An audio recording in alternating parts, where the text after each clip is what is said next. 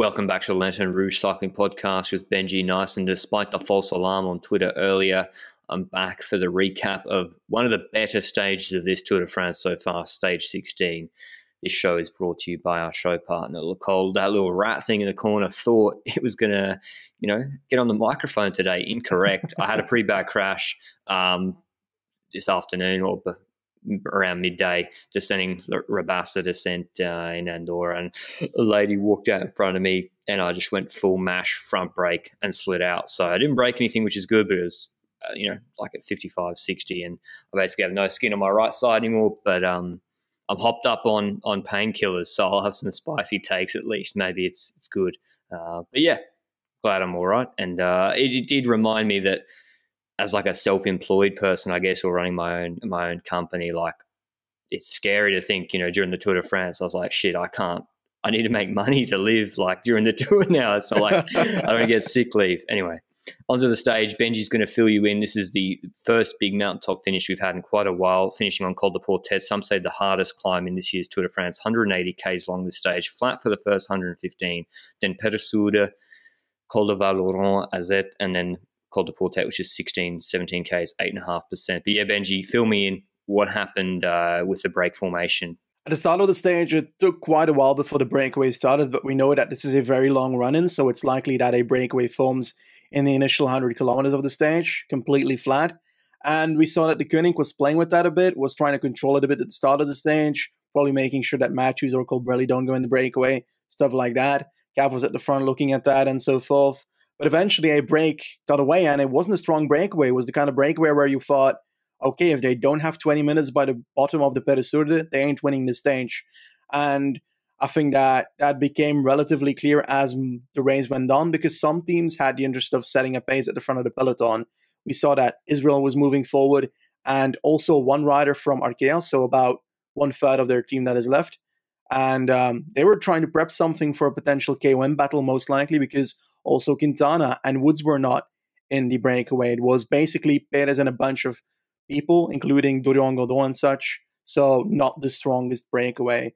Perez, by the way, he's the guy that last year, I think, on one of the hill stages in the middle of the of the Tour de France, was fighting against Cosnefroy on the hills, and Cosnefroy was in the polka dot jersey. Perez took it over virtually in the stage, and then his team car crashed him out somewhere in this end, and that's how he didn't end up wearing it on the podium at the end of the day. So actually a pretty sad story looking back at it, but um, yeah. looks good to see him back on the bike and see him climbing so well because uh, he was arguably the strongest climber in the breakaway today. For sure.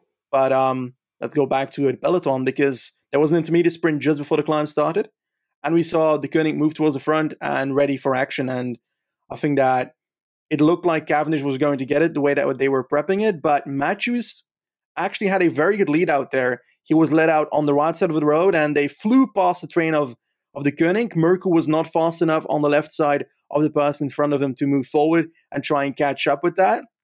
Basically, I think that they could have done exactly the same as Alpecin did at Scheldeprijs. They were faster than Deceuninck and they didn't move to the left. That's where they could have already made the difference. But eventually, the gap that Matthews created with his lead out was enough because Mørkøv was in the wheel of Matthews and Cavendish in the wheel of Mørkøv, and Mørkøv just went to the left and stopped. He he was done. So Cavendish had to close the gap to Matthews' wheel before the sprint started. Yeah, then you know you're going to lose a sprint most likely.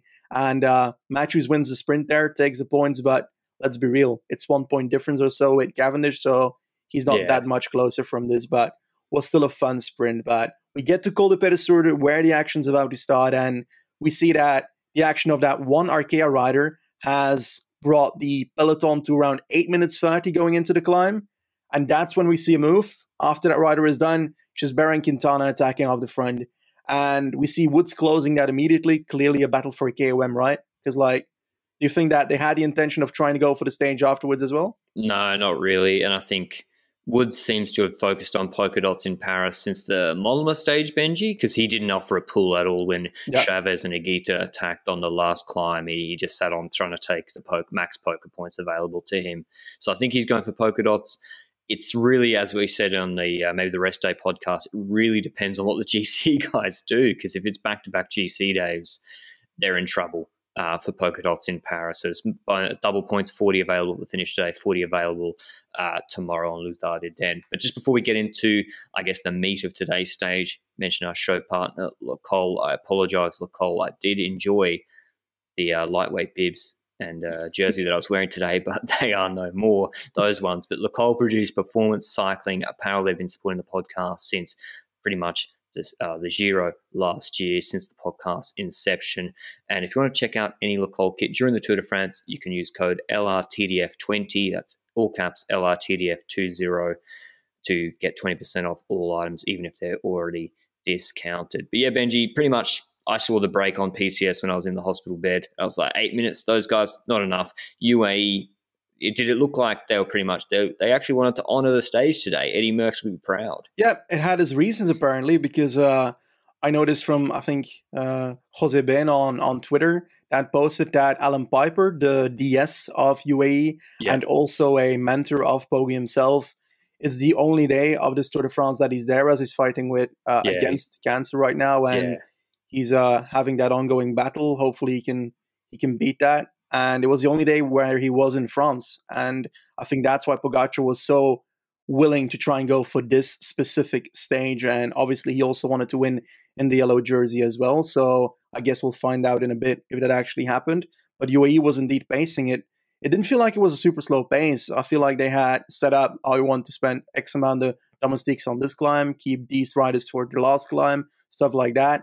And eventually, the only rider that they didn't catch from the Quintana attack was Latour because he kept on attacking. Latour just kept on attacking and riding 10 meters before the peloton. Well, it's, it's Bastille, Day. day. Yeah, it's but, Bastille Day. It, I mean, I felt like a bit of an idiot today on the bike. Um, but then I, I, came home, watched Pierre Latour, and I was like, I'm not the dumbest person to ride a bike today. Uh, just sitting three meters in front of UAE pacing and then re-attacking. I mean, listen, I mean, it's actually kind of a meme, so I, I don't mind it. I, I, appreciate him doing it. it was he then got dropped so like soon afterwards, and uh, I think Mihai tweeted on uh, tweeted like he's going to attack the group header if he can later, which I laughed at. But yeah, some random things going on. Basically, Godon and Perez. Then I saw with like 50k to go, those two the strongest two French riders out front for Cofidis and As You Deserve Citroen UAE pacing, but the gap on the base of sorry if I missed anything, Benji, but the gap on the base of Portet was like four minutes. Yeah. Not enough. It's a hard climb. Goes up yeah. to 2,200 meters. One thing is that we saw Kwiatkowski dropping very Oh, yes, I missed that. Together with Mark there? Cavendish. And he, I don't know what happened, but he took something from the Swan car and smashed it on the floor. So it didn't look like it was, oh. Like oh, Vini style? Like in uh, the in the Giro, remember when they threw the bidon on the ground? on it wasn't that crazy, but it, it it didn't look like it was. Oh, I'm done for. Like it didn't feel like that. So right. perhaps he had to like wait because it's going to be useful tomorrow. But that that's a bit sense. odd. No. I, I, don't know. There has to be more behind it, but I, I honestly can't guess it. So let's go back to the race. We've got Perez and Godon fighting on the Col de Portet by now because UAE was spacing the entire three climbs now, and honestly, at a certain point, Godon attacks. He looks like he was the strongest. Perez comes back, and then Perez attacks and drops Godon. So I guess he blew himself when attacking Perez, and Perez just kept it up for a while. But I'm afraid that his gap was around four minutes at the bottom, like you mentioned. And then we saw that McNulty and Majka hit the front, both of those riders. And I swear that I saw the time gap going from 330 to two minutes in about three seconds. yeah, we had some weird time gap issues, but like the gap went to 250 and then it disappeared and went back to 330. And I was like, I don't think Perez is out pulling Majka uh, in the GC group whilst people are getting dropped. And people are under pressure pretty early, actually, with the pace behind. I'm not sure. It, I think Thomas was dropping. Porte dropped really early. We saw um, Bilbao and Teuns were there. We had some, we had Woods hanging on, Gaudu hanging on, Valverde drops early. And I guess, yeah, the McNulty pool really started to drop all the domestiques, and then the Majka pool started to put some GC contenders under a lot of pressure. Uh, they eventually catch Perez. I'm not sure at what point, but we've still got like I think like over eight Ks to go, eight and a half Ks to go. Majka flies past him, and I think I can't really remember if anyone else pulled it all, Benji. I think no. Pogacar basically told Majka do one last sprint. There's a. Castro tried, yeah, true. For a tiny bit, not sure. I think just because we had some people drop already, Enric Mas, and as that happened, perhaps he was like, oh, let's put someone at the front and put a bit of pressure there, I guess. I guess. I mean, Castro has been fantastic this Tour de France. I mean, probably the and best. the Giro. Yeah, he's been crazy the Tour after that Giro. But yeah, Majka went on the front, and then Pogacar attacks with eight Ks to go on a flatter section on Portet. He's like, as I, I want to stress, eight Ks to go is a long time on this climb. like, that's so far out. He just attacks. He's got Jonas on the wheel. Kuss can't respond. He's dropped at that point. We see Masters already dropped. Miguel Angel Lopez looked like he had better legs today. It was my pick for the stage. He has to go back and help Enric Mas. Uh, and then we see O'Connor actually responding. And I was like, I was saying straight, I was like, stop, Ben, let them go. Just, I know it's so negative. I was like, but just fight for like fourth or something because you, you don't want to go over your limit. And Kelderman did the opposite, right? Kelderman didn't respond and he rode his own pace. And Uran, do you reckon Uran went over his limit today, Benji? Because he seemed yeah. to be in a bad way straight after. Yeah, probably. And the thing is, like, he tried to follow a bit when Pogacar went and Vingegaard was in his wheel and Uran was in that wheel. And those four had a bit of a gap, and Carapaz ended up having to bridge that, past a few people to that wheel again. And then we noticed that Uran, and not at that moment yet, but Pogacar went again, because I swear that his DS asked him today, how many times are you going to attack today? And Pogacar just answered yes. And uh, I think that he went again, and Uran was off the back, and then we had our three musketeers left. That was it, and that was Pogacar, Jonas Vingegaard, and also Richard Carapaz. And then the interesting dynamic started because who's going to start pacing? Who's going to try and save some energy? Who's going to try and do something late? Ah, I was hyped. And, and, just a reminder of the GC positions going into the stage. Uran was second, 518 behind Pogacar, with a 14 second lead on Jonas, and with a 15 second lead on Carapaz. And if you build in an expected time loss for Carapaz in the TT on stage 20 for Uran, he needs a decent amount of time on Rigoberto Uran, but he's not pulling in that group. Whereas Jonas, he's going to, okay, say Uran drops here and, you know, he only takes five ten seconds, he's still going to beat Uran in the TT, one would think. So Jonas is like basically in virtual second in Paris straight away the minute they drop Uran, but he's the one exchanging turns with Tadej Pogacar, and Carapaz is not pulling at all. And I, even, I, I fall for it literally every time, Benji. He's such a convincing. Yeah, guy. he's always sitting at the back, and we just saw it at Tour de Suisse, and I think others were saying Carapaz sitting on, looking a bit uncomfortable, doesn't necessarily mean he's going to get dropped. That being said, I do think Benji that well, actually, I want to ask you why was Pogacar trying to drop them so aggressively when he's got the massive time gap on GC and you'd expect him to smoke these guys if they lead him out in the finish? I think that it is quite simple as he wants to cause a very entertaining finish and he wants to finish solo on top of Col de Portet. I don't think there's much more than that because, like, if tactics are a thing and if he's scared or not confident enough, he's going to sit up and he's going to sit in there. We'll respond to their attacks because he is the rider ahead five minutes. He's got plenty of time. He doesn't need to do this. Neither of this. Like, he didn't need to attack with 8K to go. he didn't need to attack the other about Until 15 Paris. times. Uh, and exactly, didn't need to attack till Paris. He's the better time trialist on paper anyway, according to the last time trial. So, yeah, in all honesty, he did that because he wanted to make a show and because he wanted to win the stage. And I thought that he would have dropped them at some point there. I thought Pogacar's looking absolute fire today. he's, he's going to drop them here. And Jonas was so, so strong, staying in yeah. his wheel every single second.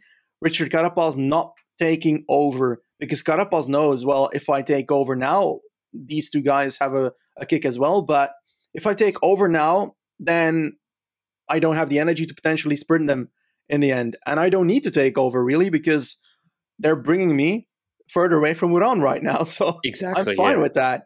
And he's got that podium relatively okay, knowing well, Uran is behind. It's not sure yet. But yeah, I don't know if he did at the time. Like he didn't know how yeah. badly Uran was cracking. If he's only 20 seconds behind, I mean, yeah, I've, I would risk it. Yeah, and since that's what Ineos made a decision that their best stage result so far on this tour was sixth. They've yep. got no guy on the podium yet on GC. So uh, it really looked like Carapaz wanted the stage win to salvage something from this tour, and he's you know thinking I can probably get third on GC anyway. And so yeah, it's Pogacar attacking over and over and over again. We don't have the exact timestamps. He attacked a lot. Jonas didn't really attack at all, and then with like oh, 1200, 1300 meters to go, we start to see Carapaz dancing in a bigger gear at the back of the trio. The pace has gone out. Pogacar is attacked for the last time. He's probably just going to wait for the sprint at this point. He knows he can't drop them. And Carapaz has a big, big attack, kind of like that of Welter one, where the stage Roglic did win, but they attacked each other from far. It reminded me of that. He's got Pogacar on the wheel, glued to his wheel. Jonas is dropped, but he's able to claw it back to to their wheel. He gets back to their wheel with 250 yeah, meters to go. I do want to come in for like one second. I think that it's very important to note here that you've indeed got Carapaz at the front with that attack with Pogacar in his wheel. The gap to Jonas Vingegaard. The problem for Carapaz is he kind of tricked himself because from this point onwards, he cannot stop pacing. He has to take time on Vingegaard. So he needs to start pacing and keep on pacing with Poggy in his wheel while Vingegaard is still behind. And he has to keep that up because that's tactically the position he brought himself in by having Pogacar still in his wheel. And yeah, like you said, Vingegaard was crawling back and uh, was certainly looking better and better there. And maybe Carapaz went a little bit too early. I'm not sure. It seemed like he did peter out a little bit at the end. They get to about 150 meters to go, uphill finish, and Pogacar just absolutely launches it, immediately gaps everybody off the wheel, basically does finish solo, winning this stage.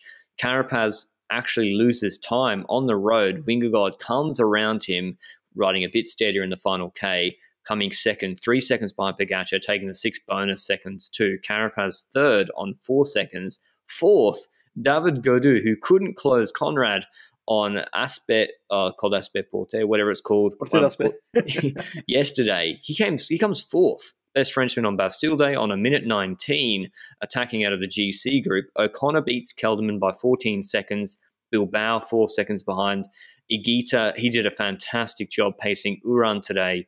He finished on a minute 49 in a group with Teuns. Mas on 227. Lutsenko losing a lot of time down at 253 on this finish. So Uran, I think I mentioned it. I looked at his mountaintop finish results recently in the last 18 months, two years and it, is where I think he'd been hiding a little bit this tour, and he was exposed today. So the revised GC Pogacar, 539 ahead of Jonas, who moves into second. Carapaz into third on 543.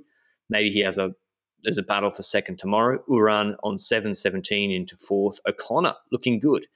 32 seconds ahead of Kelderman in fifth, but the TT's coming up. And then there's Mas, despite the terrible day, moves into seventh on 9.48 and Lutsenko, Martin, Bilbao rounding up the top 10. Uh, but yeah, quite a memorable stage, Benji, particularly Carapaz's Hollywood performance. I really enjoyed the stage, genuinely.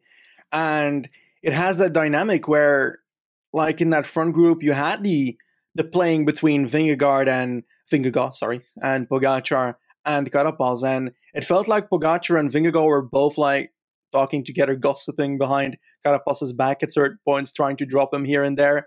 And Pogacar even like said, oh, "Come on, take over. We got to drop this guy at a certain point with his elbow." And I was like, "Okay."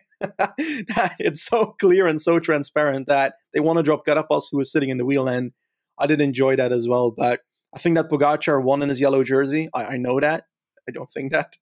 and as a consequence, I think that I'm quite happy to see that. I think it's always awesome when the leader of a Grand Tour can win in their leader's jersey on one of the mountain stages that matters. I think this is arguably potentially the queen stage of this Tour de France parcours wise because it's not like we have crazy other stage. I think tomorrow is another one that will be very fun to look at. Yeah. I think that when it comes to the rest of top 10, Uran is definitely the loser today. He still had Higuita, so strong. Yeah, Sergio Higuita today. Higuita. Great ride. Carapaz did what he had to do, took time on somebody that was on the podium, and therefore is now on the podium. And I think they're going to be happy with that. And I think that Kwiatkowski can try and get that thing that he dropped on the on the floor angrily that he took from this one year and be happy again because uh, they did it what they had to do. It's it's not winning the Tour de France, but they were in a much better situation than they were yesterday, and uh, that was necessary when it comes to Carapaz because now they've got a gap of a minute 30 plus on Uran. If they can keep that, I'd even try and trust that in the time trial against Uran with Carapaz. Yeah, it's a pretty solid gap. It's a minute 40 even. Uh, so, yeah, it's a, it's a Uran's not like the best t- time trialist in the world, and yeah. Carapaz can do an okay result. Tomorrow stage from Pau to Luz Ardiden, two climbs. Tourmalet 17k, 7.5% after 77 Ks. The intermediate sprint is after a 2K, 6.5% climb. We'll probably see Matthews trying to take max points on Cav again tomorrow. Uh, he should be able to drop him on that climb, one would think. And then the last climb, Luz Ardiden, 13.5 Ks, 7.5%, much more regular gradient, sort of always around that 7 to 8%. Not as hard as today. I think it's a stage where Aert and Kuss can make much more of a difference.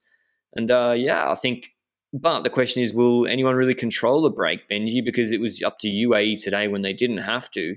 They did so because of the reasons you mentioned. They've got that win in yellow. Who do you even see controlling? Hmm. I think that the benefit is that it's a shorter stage. 130 kilometers might be a consequence there, where the gap might not have expanded to 8 minutes to 12 minutes yet. It's still a pretty large climb, but it's not as large as the Col de Portet in kilometers. So I think this might be very close when it comes to breakaway and peloton. I'm I'm not actually sure what it's gonna be yet. I think that Pogacar doesn't need to go for it yet. Uh, again, I think I had him once again for this stage in the preview, but I might go for a breakaway finish on this one because, like, you'd say that a Carapaz or something, if they were far behind, they'd go for a crazy attack on the Tourmalet. But right now, nah, if I'm Carapaz, nah, nah. I wouldn't do that because, no. like, you're on the podium. Sure, Vingegaard is ahead of you. You need to try and take time if you want to end second, but like, doesn't matter if you're second or third in the Tour de France? I don't know. Maybe everybody get, will call it the podium anyway. Yeah, I always just say podium, but maybe they. I guess they get a little bit more money for second. I guess True. you don't know if Pogacar crashes out or what could ever happen in the future. Yeah. Second is always, you know, better to be second than third. So, yeah, I think I think Carapaz will fight for second and try and put Vingegaard under pressure. I think that's the way he even rode today as yep. well. I think he was trying to distance Jonas today. I think Jumbo Visma. I don't know. I, I, feel like they can go for the stage win tomorrow with one of three riders with van Aert in a break, with Kuss, yeah. Maybe riding off the G, from the GC group or or from a break, or Jonas if if Pogacar feels generous as well. They lost another one today. Kruijswijk is out. I is probably he? haven't told you yet. Gee. He um I don't know what happened. I think it was before the stage even, but I'm not sure about it. Uh, or during the start of the stage. So uh, they lost another one. They're now at four.